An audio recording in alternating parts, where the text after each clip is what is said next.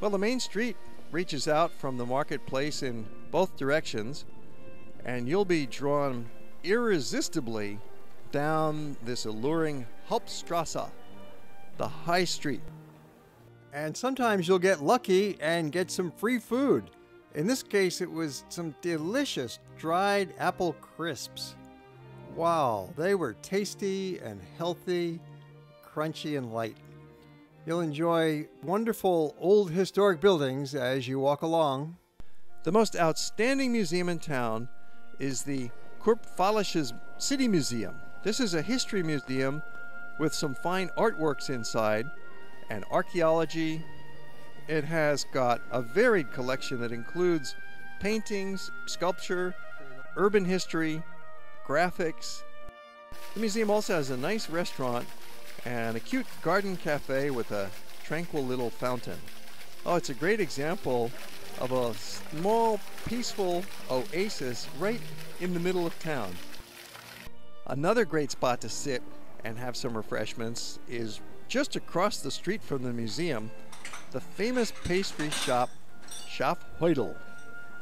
They're seating out front on the Hauptstrasse in nice weather, or you can sit indoors, or they've got a beautiful garden out back with a, a fountain and a calm setting for your snack. Great service from the waiters and waitresses here. After your refreshment, continue walking along the Hauptstrasse, Heidelberg's main street. With one shop after another in a lineup of historic buildings that continues for a mile. The old facades with modern interiors make for a winning combination, even if you're not a shopper. There's plenty of cafes and snack bars along the way to keep you fueled. The Hauptstrasse was one of the first pedestrian streets created in all of Europe. Of course, earlier it was a street for cars. It would be a narrow street, but it would have had busy automobile traffic. But many decades ago, the town decided they wanted to create this wonderful ambiance, a pedestrian mall that stretches about a mile from the main square into the more modern downtown. And of course, since then, in the last 30, 40 years, throughout Europe, you find many streets in the downtowns have been converted from automobile streets to pedestrian malls. And then the cities continue expanding their pedestrian zones into the side streets and into the back streets.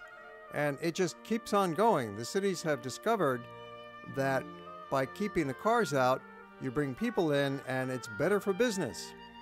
One of the great restaurants along the Hauptstrasse is the Zum Ritter. It's in the Hotel Ritter.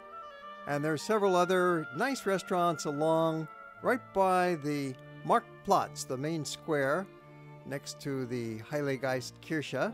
And you can sit out in the Marktplatz in the evening as well. You can get some table service from the nearby restaurants or just have a drink. A number of sidewalk restaurants are open all throughout the historic center of town. So Heidelberg in the evening is just as wonderful, if not more so, as it is during the day, and it's a little bit less crowded. The bus tours have gone home and they have left the town to the locals and to the tourists who are actually sleeping in town. So it's a great time to enjoy it.